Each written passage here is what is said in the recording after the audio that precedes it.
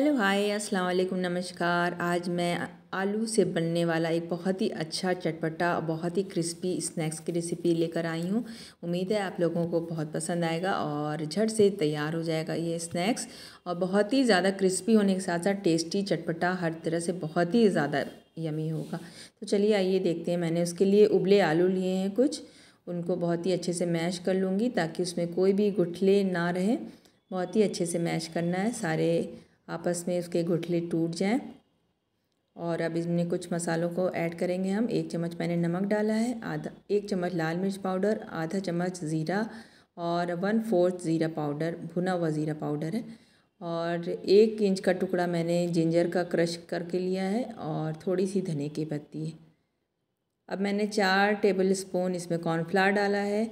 अगर आपके पास चावल का आटा हो तो दो चम्मच चावल का आटा और दो चम्मच कॉर्नफ्लावर डाल दिएगा तो और ही ज़्यादा इसका टेस्ट अच्छा हो जाएगा और बहुत ही ज़्यादा क्रिस्पी भी हो जाएगा। अब सारी चीज़ों को अच्छे से मिक्स कर लेंगे। मिक्स करने के बाद थोड़ा थोड़ा हम लोग हाथ में लेंगे। उसके पहले थोड़ा सा तेल लगा लेंगे हाथ में और हाथ में ही थोड़ा सा मिक्सचर लेकर और उसको अच्छा सा स्टिक की तरह दोनों हाथ की मदद से स्टिक की तरह बना देंगे। टैप करते हुए जितना बड़ा साइज़ आपको स्टिक का चाहिए, उस हिसाब से इसको स्टिक शेप में दे दीजिए। फिंगर्स से इसको पतला कर दीजिए। फिंगर्स के बराबर ही होता है। इस तरह से सारे स्टिक्स मैंने बना लिए हैं। अब ऑयल चढ़ाया हुआ है। बहुत ही अच्छे से ऑयल गर्म हो चुका है। तो मीडियम फ्लेम पर कर देंगे इसे और अच्छे से सारे स्टिक्स डालकर फ्राई करेंगे। एक साइड का अच्छा सा क्रिस्पी होने के बाद इसे हम पलट देंगे।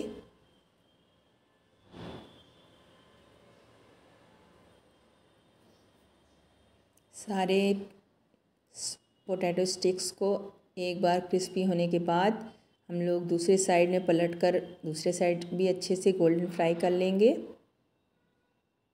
बहुत ही अच्छा टेस्टी होने के साथ साथ बहुत ही ज़्यादा जल्दी से बनने वाला ये स्नैक्स है। तो अगर आपको जल्दी से बनाना है, कोई नाश्ता, कोई आ गया मेहमान या किसी भी वजह से घर में खाने का दिल कर रहा है बच्चों का या ख़ुद का तो ये बहुत ही आसान नाश्ता है। आलू उबले रहे हैं तो फटाफट से आप मिक्सचर बनाकर इसका और बना सकते हैं।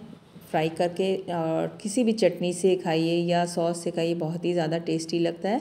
तो अगर इतनी इजी सी स्नैक्स की रेसिपी अगर आपको मेरी पसंद आई हो तो उसे लाइक शेयर कीजिएगा और अगर सब्सक्राइब ना किया हो तो सब्सक्राइब कर लीजिएगा ताकि आपके पास मेरी और भी जितनी वीडियोस हैं, वो आसानी के साथ आ सकें।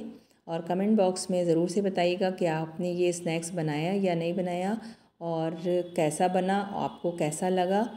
बहुत ही ज़्यादा टेस्टी वैसे ये है। एक बार आप बनाएँगे तो पूरा यकीन है कि दोबारा ज़रूर से बनाने का आपका खुद दिल करेगा और आपके घर में सब बच्चे और बड़े जितने भी हैं सब डिमांड करेंगे फिर से बनाने की। तो इतनी आसानी से बन जाता है कि आपका खुद कोई परेशानी नहीं होती है तो आप जल्दी से ये बनाकर रेडी कर लेंगे और चाय के साथ अक्सर आपके घर में फिर ये स्नैक्स बना करेगा। मेरी गारंटी है इस बात की।